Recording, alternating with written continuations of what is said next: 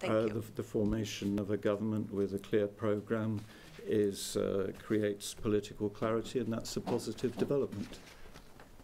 Little to add on, on Europe, where our views are well known. There is, as the managing director has noted, we expect the the, the mission, uh, which is there, as you know, at the invitation of the Italian authorities to be there in, in late November.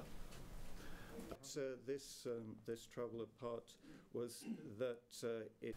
we welcomed the agreement on a national unity government in Greece uh, as, a, as a step uh, to achieving greater political certainty and stability.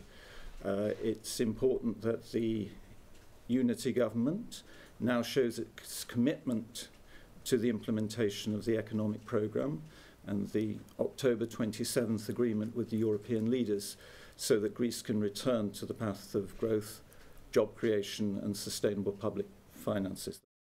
Our, our view, again, as we've said before, is that uh, uh, we stand uh, ready to work with the coalition and once broad political support for the measures under Greece's economic programme is assured, then we can proceed with completion of the fifth review and the release of the sixth tranche.